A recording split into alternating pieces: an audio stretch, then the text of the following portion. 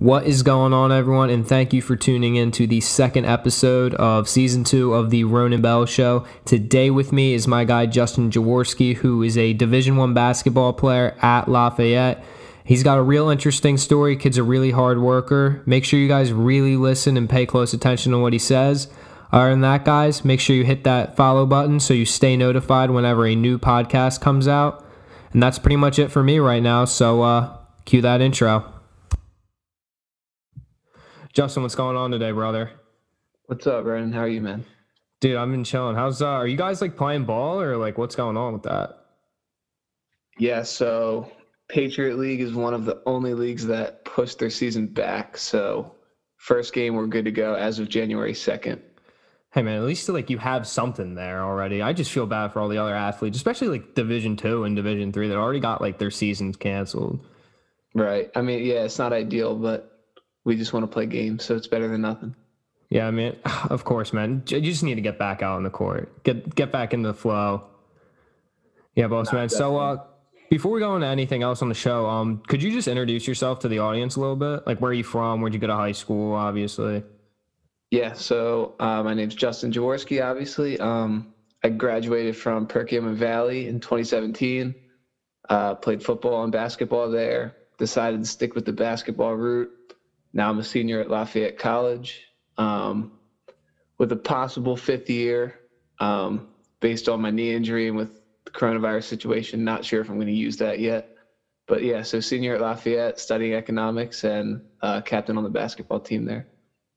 Yeah, man. So like in high school, uh, for all the listeners out there, Justin was actually our, our high school rival. And let me tell you, whenever uh, J- you heard the name Justin Jaworski, we we never wanted to play against that kid. he, uh, I mean, just going into high school, I mean, how do you think that you've changed as an athlete from like your high school self as now into like a college athlete?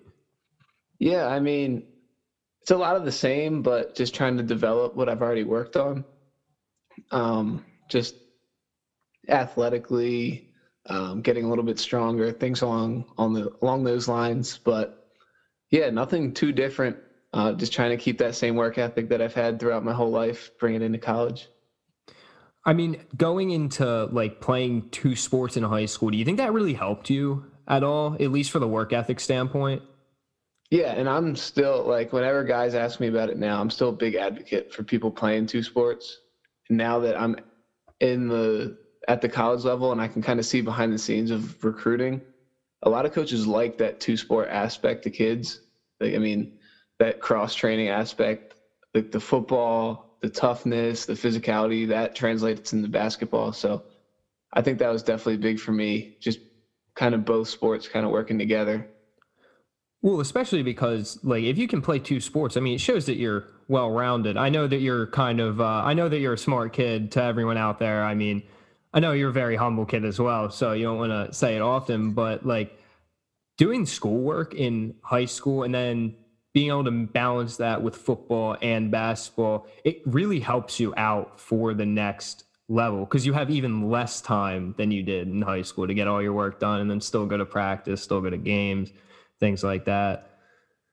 Not exactly. I mean, time management, especially in college, is so huge for us, especially when we're missing a lot of classes for road games, we're traveling, taking flights places. So you really need to be on top of your stuff because you're already at a disadvantage from everybody else playing sports. And then you lose that extra time on top of when you're in season too. Oh yeah, man. It's it's nuts. It is really nuts what you do to balance all of that. Yeah, but, um, I mean that's what we signed up for though. That's what I like about it. I mean, hey, keeps you busy, keeps you out of trouble. Exactly. What made you choose uh, basketball really over playing football in college?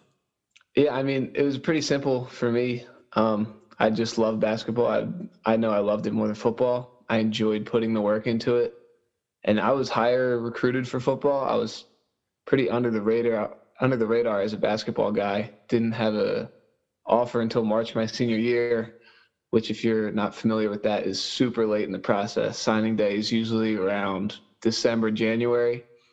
So I kind of bet on myself there, let about 15 plus football offers slide just to kind of hang on to see if I get that opportunity to play basketball. So yeah, I bet on myself knowing that I loved basketball just much more than football. Did the like did the amount of offers that you had for basketball ever like really discourage you? I I wouldn't say it discouraged me. I would say kind of it just pissed me off. Um, it motivated me. Just I mean, I still carry that with me right now. I mean, all but one school in our league didn't offer me, so every time we play them, it's like, all right, you didn't offer me. Let's get to it then. And I mean, you're the thing that I want to make a point of is that, you know, outside of basketball, I feel like that you're a completely different person. You have kind of a different, um, kind of a different mark on people. Cause when we would play Justin in basketball, we just thought he was this cocky kid. You know, he's always looking for the foul call. But the thing is, when when you're out when you're outside those lines, you're the you're just a nice kid. You do everything that you're told. You try and you know you try and be nice to everyone. How do you think that you manage that like that big difference? Not one of my. I mean, one of my biggest mentors my whole life is Kobe Bryant. Just the way he carried himself. And one of my favorite things he used to say is, "There's a difference between who you are and what you are." So like who I am, I try to be like a genuine person. Just try to be kind to people. But like when I'm on that basketball court, it's I'm going for blood out there. Like I want to win. I'm a competitor. I'll do whatever it takes to win. So just kind of once I'm in those lines, it's not exactly who I am. It's just what I'm doing there. I'm just being a competitor. Yeah, it's not personal. I mean, I'm sure that you hate that guy on the other on the other team for 40 48 minutes or ever was it 40 minutes in college, but like after that, I mean, it, it's it's a game at the end yeah, of the day. Yeah, not at all. And I mean, all those like high school rivalries that you kind of mentioned before, like I work out with all those guys off the court. So like once we're out of season, we're all boys. But once you're playing, like you're at each other's throats, and that's what I like about it. I just like competing. Well, you have to be. I mean, when you're playing in high school, obviously it's competitive, but if you want to be at that next level, it's a whole different kind of competitive mindset. I mean, you're trying to, you're really just trying to take down that other team. At the end of the day, you want to put your foot on their throat. Not exactly. And especially for someone like myself that's not oversized, not overly athletic, like that mental aspect that I bring to the game is definitely super important for me, more so than other guys that can just kind of dominate off their athletic ability. Oh yeah, I mean, how how tall are you, Justin? What six foot on a good day? Six two? Yeah, I um listed as six two in our book, so probably more like six one. So he's six three in Tim's. That's all that, that that's all that matters. But um, like I'm that's that goes to show you. I mean, Justin, how on like how hard do you honestly think that you worked in high school? Like just to be able to get that couple of offers to play in a Division One school. No, I mean extremely, extremely hard. And I like to tell people if if everyone worked as hard as I did, I wouldn't have got those offers. Just because people start at higher floors than you. Like oh yeah, somebody that's super athletic, they're already on people's radar just because they have a 40 inch vert or they're 6'10. But like for someone like myself, if everybody put in as much time as I did, like I wouldn't have a chance. But that work ethic, I think, helped me leapfrog those people. And that's what separates these division one athletes from someone that's going division two like you said you said yourself that I, you're undersized you got to do something extremely well what do you think that you know i know in um in high school shooter obviously but you also kind of man the floor like you were the floor generals like in basketball terms that's what they like to call it but do you think that translated a lot into the next level or did you have to kind of find a different role nah so right right from when I got to Lafayette, shooting was like definitely the biggest thing for me still. I mean, if you can make shots, if you can stretch the defense, there's pretty much a spot for you anywhere. But I want to be known as more than just like a shooter. I want to be a complete basketball player. So I think I've really developed on the defensive end, being able to get other people involved, rebounding the basketball, just leadership aspects, just things along those lines to be more than just a shooter, to be a player and that take and that doesn't happen overnight. Like to anyone uh, out definitely. there, I mean, yeah, you have to work extremely hard. Take it from Justin. I mean, the kid kid worked his tail off all throughout high school, and now like working out in college just to be able to get a, a starting spot. I mean, get a better role than what you are. I mean, there's always that, even though your teammates, there's that guy in front of you. And at the end of the day, your teammates, but you're all like, you want to play. You want to be on that court. Yeah. And there's, there's no, there's no finish line with it really. So like I, I started my first game as a freshman and that was cool, but I didn't get on the all freshman team and I thought I should have. I didn't get it, whatever. So that pissed me off. All right, you know what? There's five freshmen in front of me that they thought were better than me. So my sophomore year, I get on the all league team. I'm one of two sophomores on the all league team. All right, well, now I need to beat out this kid. Me and him, Jordan Burns, we also get all league as juniors. So now he's preseason picked to be player of the year for our senior year. Well, all right, well, now I have to compete for him for that too. So there's, there's no finish line to it. You're just always striving. yeah, I like. Level. Yeah, I like to make the point like the the slogan that I use on this podcast is is keep on keeping on because straight up, I mean, when you go through bad times, you got you got to keep going, you got to move forward and you got to get through that. But the thing is when even when you are having these goals accomplished, there's always another goal that you can strive out to get. Not exactly. And I think I'm a pretty ambitious kid. I set my goals pretty high. I hold myself to a pretty high standard too. So I think that's really just helped me kind of propel to where I'm at. And obviously, I have a lot more that I want to get accomplished. So, not ready to just kind of look back and look at all my accomplishments. I can do that when I'm done playing. But for right now, I definitely have a lot more that I want to get to. And I mean, like, why not shoot for the stars? Like, yeah, why not? I don't feel like looking back when I'm done, being like, you know what, I could have, I could have done more. I could have accomplished just a little bit more if I worked a little bit harder if I tried, if I put in a little bit more time. So might as well put it all in now and see how far I can take it. Yeah, I love it. I mean, why, why have any regret regrets at the end of the day? Not exactly. I mean, how much do you think that the the chance just to play obviously you said that you didn't get like a lot of offers to go to to go to college and play basketball you were more of a football guy how or for, more of a football guy how much how much did the chance like mean to you to be able to go play at a division one school yeah, I mean, it's a blessing. Um, that's been the the dream, the goal since really I started. So to get that offer, just super appreciative of it from Lafayette and Coach O. Um, they took a chance on me when a lot of people didn't, when a lot of people didn't think I was good enough to. So I'm just kind of working my tail off to to prove him right, to prove that his chance on me was worth it. Yeah, and like at the end of the day, you look back out, you look back on all those on those hard nights and where you had to stay up a little bit late to finish your homework because you were working on basketball every day. Like it's worth it. It's worth it at the end. No, definitely. I mean, everybody everybody sees the stats in the games. They see the highlights, but they don't see all the all the little stuff behind the scenes. So definitely, when you when you get some recognition, when you get some awards, it just makes all all that pain, all that little stuff worth it. Well, and the thing that I the the thing that I like about you, Justin, is I know a lot of athletes post their workouts and stuff, and they show how they show how hard they work. But honestly, you you kind of move in silence a lot. It's kind of it's all under the radar. No one really knew how hard you worked. But when when the game when the lights came on, when we were ready to tip off, I mean, it showed. No, definitely. I that is something that I really don't like about today's game and today's social media environment.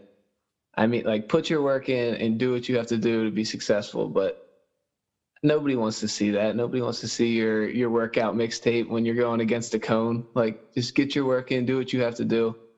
And like just play play because you love the game, not because you want attention from other people about it. That's that's not me. I mean, at like who cares? Who cares? Honestly, who cares? Right. If, that's what you were saying. Like, who cares that you can dribble around the cone? No one cares that you're working out. Everyone just sees that on Instagram, sees that on Twitter or whatever, and then scrolls right past it and moves on with their lives. It doesn't stick in their brain or Not anything. Exactly. And I think, especially right now, when you're going to get a whole bunch of seasons that happen without fans, without all that attention, you're going to find out who really loves the game, who really puts in work to it, and who is just playing for attention, who's playing for that that crowd noise or whatever. So I think you're really going to find who loves the game. Well, yeah, especially because there's no there's no cheering. I'm sure it's gonna when you step out on that court for the first time again, it's gonna be a lot, a real different feeling than uh, than it is right now. I know some of the other uh, Division One schools kind of tipped off uh, this past week, And that's what like a lot of their comments were that it is really weird not playing with any fans or anything. Cause that's honestly, I mean, I don't know how, like, if you go to a game at Lafayette, is there like a lot of kids there? Yeah. I mean, we have like a nice, like, the community really shows out well. And then, I mean, a bulk of our season is kind of over that winter break. So we miss, we miss those college kids a lot. But like, once they're back late January, February, like, it's, you're getting a couple thousand every game. So it's definitely a fun environment. Especially that's beneficial to you. Is that that other team walking in there? I mean, when they see all those fans, are like, well, well, we better like, what are we gonna do? Like, we better not mess up, or we we're gonna really hear about it.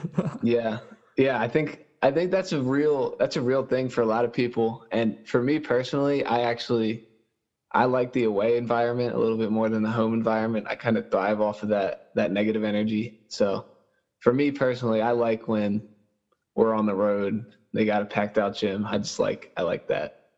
I mean, sometimes you gotta love the hate. Nah, yeah, it's fun. It's fun to just kind of take that negative negative energy, use it as as motivation. A little bit, little bit of energy. I love love silencing crowds. I think that is that's so much cooler than like the the roar of your home crowd. Yeah, Justin did that enough to us in high school, but we're, we're not gonna we're gonna we're gonna we're gonna gloss over that section. But uh, but uh, but the point that I'm trying to make is that you know try and make the the positive out of it.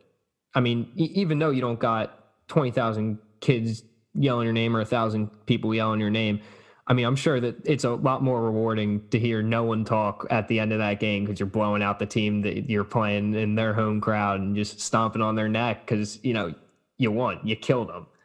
Like yeah. I feel like that's way more rewarding. Not yeah. There's something about just taking that taking their energy away and your team thrives off of it. It's just very very rewarding. What do you think the biggest difference between the high school game and the college game is for you? So like the first thing that you notice as soon as you get on a division 1 level is the size and the speed is just completely different. So it's the same game, but instead of when you're driving to the rim and you're finishing over six two in high school, you're finishing over seven foot now.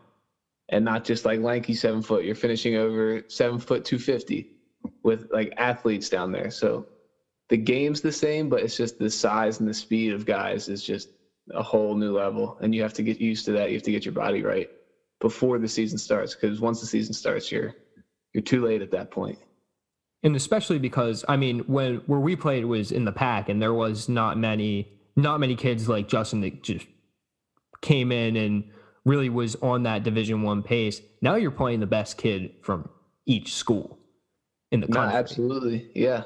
I mean, I, I got thrown right into the fire too. My first game was against that Villanova team that won the national championship. They had seven NBA guys on that roster, so I definitely learned that one quick that it is a new level once you're in the, the division one level. What was that like first time getting in the game like for you? Like when you when you really when it really comes down to it was it all like was it worth going to a division one school really kind of giving up football like looking back on it now do you think like you made the right decision?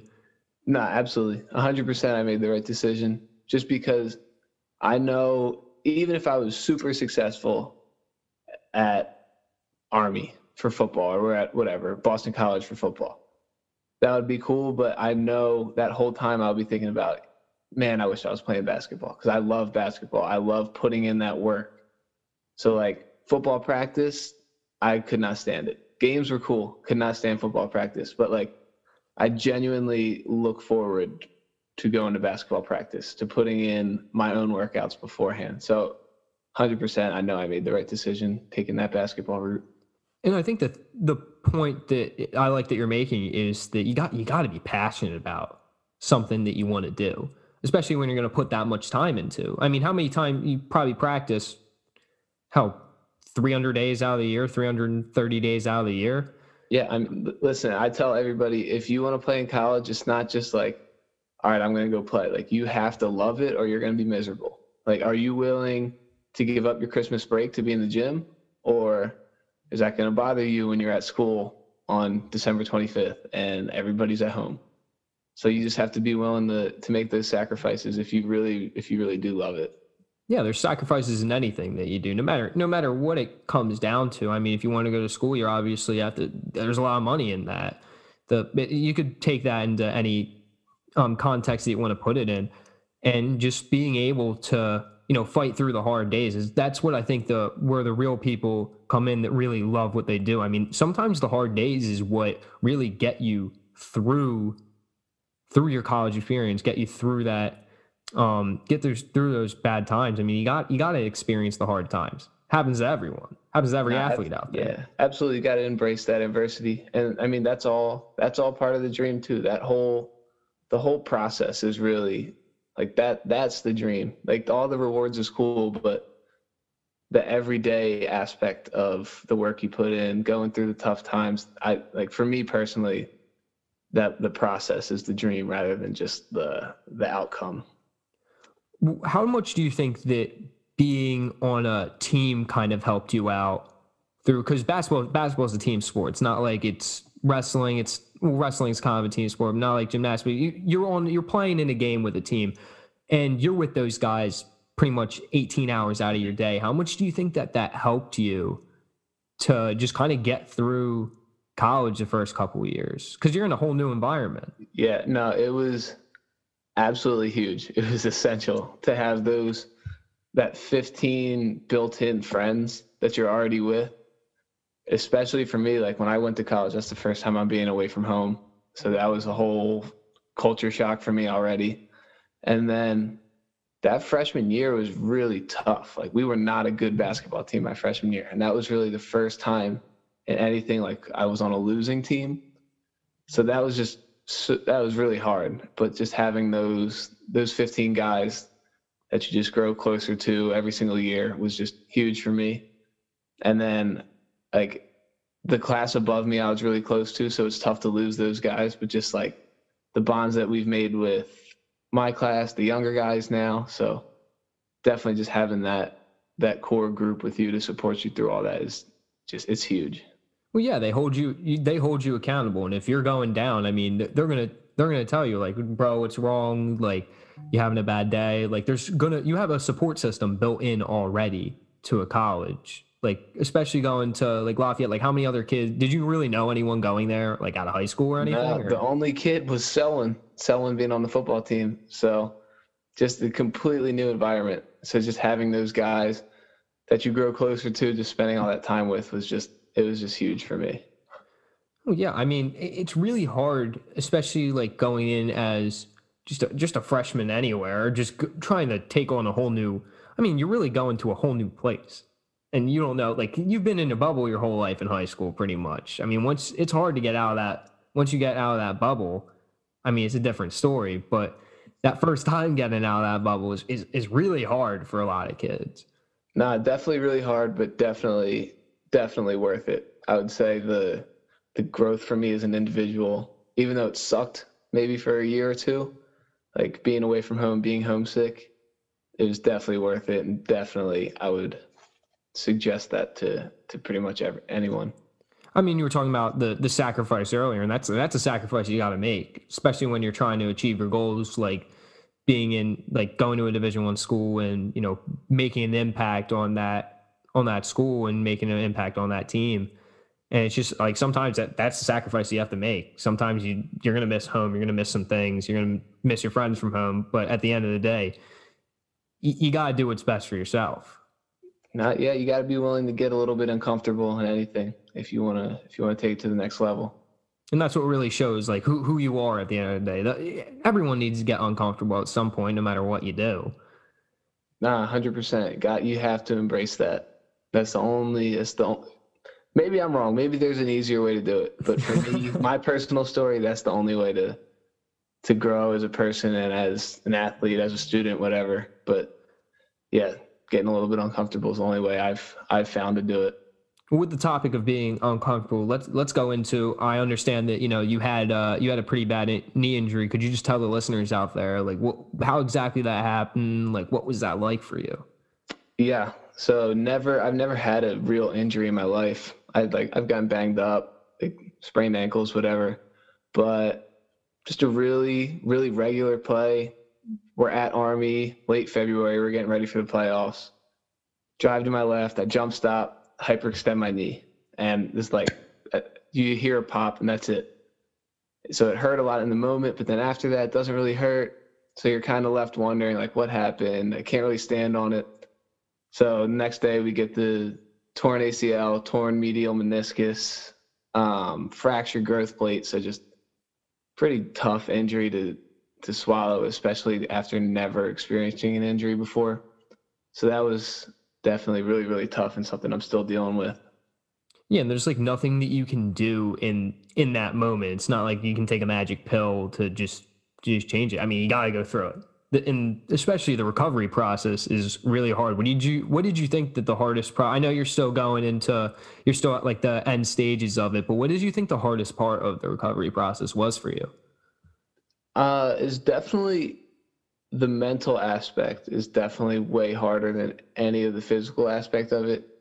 Just because they can like you can say all right it's a nine month to a year recovery and that's easy to say right now. But when you're going through it that's just it's so much longer than you think. And then like you always want you want to push it you want to test it. When you're at like five months you feel good for a couple days. And then all of a sudden like the next day you might feel horrible and like all this doubt creeps in like uh-oh like is something wrong? Am i not am i not progressing how i should be? So just that mental aspect of just kind of embracing that process the whole way is definitely really really tough and i'm still dealing with it right now.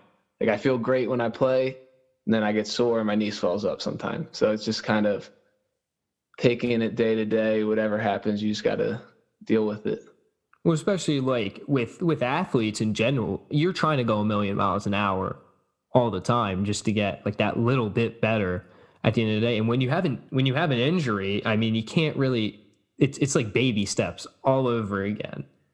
Nah, hundred percent. And the ACL is just it's annoying, man. you lose a lot of strength in that leg that you have to build back up. Um, building up that trust of it mentally is huge too. So just, I mean, you really, you really, it sounds cliche, but you really have to go like one day at a time and just try to get a little bit better every day. Because if you try to do it in chunks, it's just, it, it's overwhelming. What did you think really helped you get through the mental aspect of just getting over that injury? Um, I mean, definitely my support system was huge. I mean, just having like my family with me for, through the whole process, having Paige with me through the whole process. Just, I mean, just having those people when I'm like, I'm very, very hard on myself. So if something goes wrong and I get discouraged, I get pissed off, they're kind of there to give me a little boost to give me some positive energy. So just having that that support system was huge for me. And that's what that's the point that I, I was trying to get out at earlier that like there there will be always someone to help you out hopefully i mean your friends are your friends whether you like whether you like it or not your friends are your friends and there's there's always going to be someone to pick you back up when you're down you're not really going through something by yourself even though you, you do think of it like that sometimes but you're really not alone at the end of the day. Nah, and I really, I really hope nobody's alone going through any of that kind of stuff because, I mean, you can be as macho as you want to be and think you're the toughest guy on earth, but just having people to help you through it is definitely, I think it's essential at least.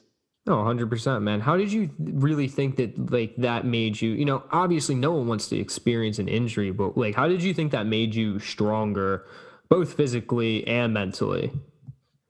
Yeah, I mean, I took like a couple days when it happened to feel bad for myself. I mean, be like, why me? This sucks. Like, what's gonna happen? Am I gonna come back better? And then I just decided, you know, like, no, this is just another another bump in my story. Uh, we're gonna get over it. We're gonna be better on the other side of it.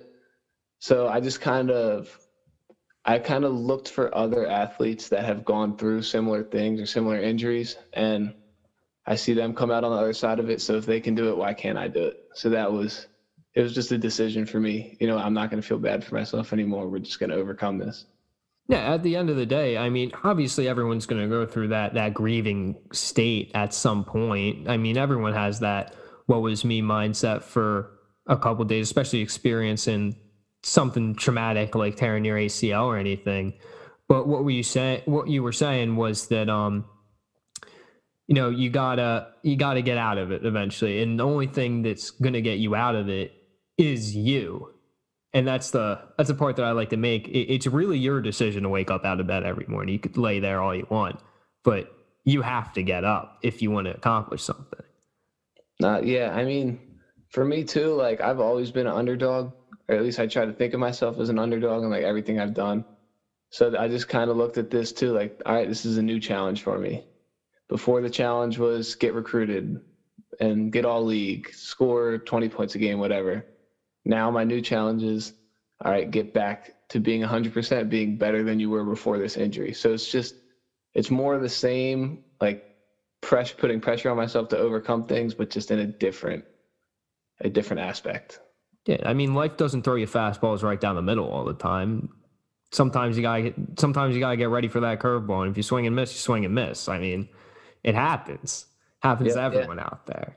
Yeah, and just gotta uh, go, go into it 100, percent and I'll be better on the other side of it, no question. Yeah, w- one day you'll look back on it and be like, like I got through that. Like that was nothing. And, yep. And uh, if you were if you were gonna give like a piece of advice, say to someone that went through something like you did, what would that like piece of advice be? Um, I mean, I, I talked about it a little bit already, just taking it one day at a time. But also, I would just say, like, setting goals for yourself is super important. So, like, you want to have your end goal. So, for me, my end goal was, all right, I'm going to come back. I'm going to win Player of the Year next year. That's my end goal. But setting day to day goals, like weekly goals, is also huge for me. So, like, when I'm going through my running stage at like three months, it was a 10 week progression to get back to 100% running. So just kind of making that 5% bump every single day of, all right, I'm going to get a little bit faster. I'm going to get a little bit faster. So just to, like those smaller goals, I think is really important. Yeah. No matter what you do, it takes time to get good at it. Yeah, definitely. In, in, in every aspect in life, it's not like everyone's going to walk into an exam and get a 100 on it without studying. I mean, you got to take those progressions. You got to work hard at something. No, yeah, absolutely. I mean, at the end of the day, like most of the the stuff I'm gonna give you, it comes back to just you got to put the time in before whatever you're doing happens. So you got to put the time in to come back from your injury while you're doing it. You have to put the time in to be good at basketball before your basketball games happen. So just putting that work in is really what I try to mold my life after. Yeah, prepare prepare for the stage. Prepare like you're going up in front of 100,000 people. Like that's the mindset you got to have, prepare for the biggest thing possible. Like, why not? Going into a little bit about, um, like, I know that faith is a very big part of you, your life. How do you think that that has helped you throughout, you know, this small time you've had on earth so far? Not, it's definitely been huge. And when I like, when I decided to take my faith into like my own hands, so like before I would say up to my junior year of high school, it was just kind of like go because your family goes. Until like I really took like responsibility of my faith. It just it changed my my outlook on everything. So like before I'm playing basketball for we talked about a little bit for attention, for popularity, whatever.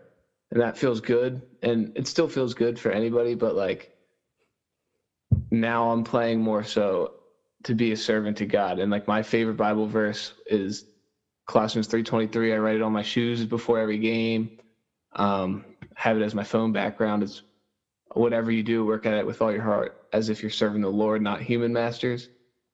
So, all right, I love basketball. That's what I do. I'm going to put everything I possibly can into it, all for God's glory and not my own. So it just kind of changed my whole perspective on everything when the one uh, I did an interview with uh, former Nittany Lion uh, Zach, and he was talking. He was a he's a pretty big uh, Christian or Catholic as well, and he was saying that he felt that at the end of the day he was doing a service, being like the Nittany Lion. I feel that that's how you kind of have to have to think about it. Just even from like a non-religious, like I'm not a re- very religious person. I'll be the first one to say it, but you have to kind of think of there's always something bigger than yourself at the end of the day. I know you I, I say a lot you got to worry about yourself before other people, but you, you got to be thinking of it as I'm doing this to accomplish a bigger goal in some in some sense. Like you were saying that um you felt like that basketball was originally for popularity and everything like that, but at the end of the day you realize that you're doing it for more than just yourself. Nah, definitely. And like something that's really cool about sports is it brings a lot of people together that would not have been together otherwise. So like the people that I've met playing basketball, like wouldn't have even imagined meeting them without the game. So just bringing us together and then being able to share like aspects of my faith with them, them with me, like building those bonds. It's just the way the way it all has worked out has been pretty cool for me. Yeah, the the whole uh like I talk about wisdom a lot. It's pretty much the reason I started this podcast and just like everyone really has their own story no matter if you're kind of like on the same path, like you're all basketball players, but everyone went through something before that they got on that court and got on that team.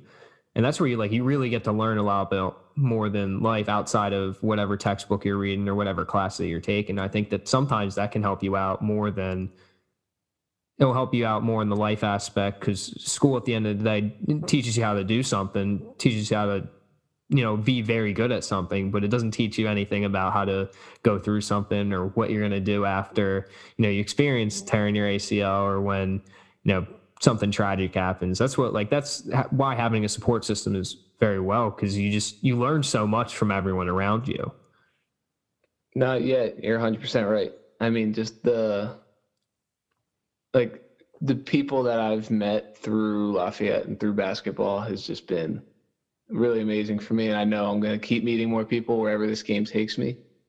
So, I mean, yeah, just that's what's really going to last after I'm done playing.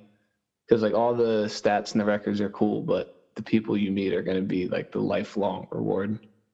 Oh, 100%. That's the thing that you're really going to remember at the end of the day. You're not going to remember scoring 10 points against that team wherever it was. You're going to remember, you know, that kid had a real, like, dang, remember when I passed you the ball and you had that dunk? Like that was crazy. Like that, it's about the human. It's about the human interaction more than anything else than just a number in a number in a book or whatever you get on a test or anything. You're way bigger than that, guys. You're way bigger than just a number.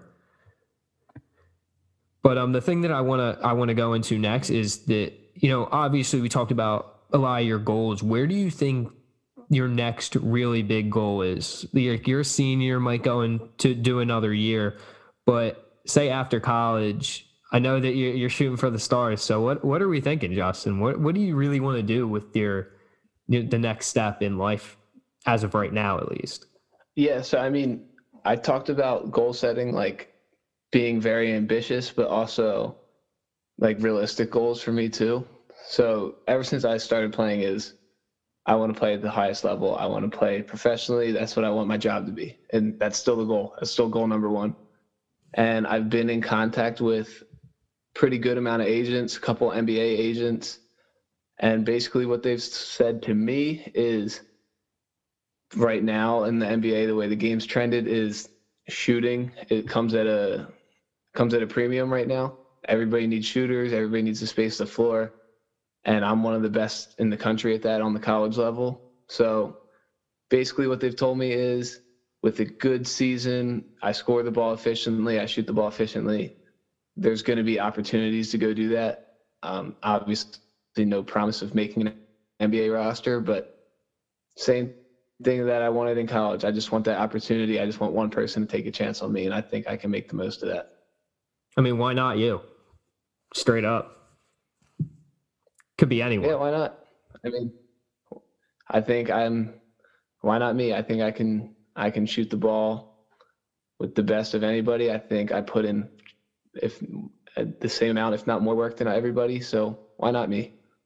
And if it doesn't work out, there's other there's other options internationally or whatever. But that's that's Plan A. I love it, brother. I mean, but hell, I mean that'd be That'd be sick. I mean, that's like every that's like every childhood dream. Like when you're nine years old, shooting in the driveway and just you know you pretend that there's a shot clock and like you're about to win the NBA championship and like just having that at least the chance, you know, and you're making that chance higher every every day at least that you're trying to, and that's what it really comes down to. You know, nothing like you were saying. It's not. There's no promises. There's no guarantees, but you can make a better chance of something happening if you put some hard work like hard work in at the end of the day. Yeah, you know, know what? I'm gonna do everything in my power to get there, and if I get there, awesome. And if I don't, then I at least I can know, all right, you did literally everything you possibly could have. Yeah, I mean that's that's the thing that I like that I like about you, Justin, is that you you you've said a lot on this podcast that there's there's been no regrets. So the question I want to ask you next is just if you had the opportunity to turn back the clock, would you do it all over again? Like, would you change anything? Would you do everything the same? What would you do? No, 100%. This is where I I was meant to go to Lafayette. That was the best thing for me, and like the the proof that I have for that, the evidence is I could have transferred out and went to play at a whole bunch of different schools, a whole bunch of bigger schools. But for me, Lafayette took the chance on me at the beginning, and that's who I wanted to stay with. They wanted me first. So like these bigger schools, they didn't want me the first time around. That's fine. I don't want to play for you this time around. So I just kind of wanted to stick with the people that that believed in me from the beginning.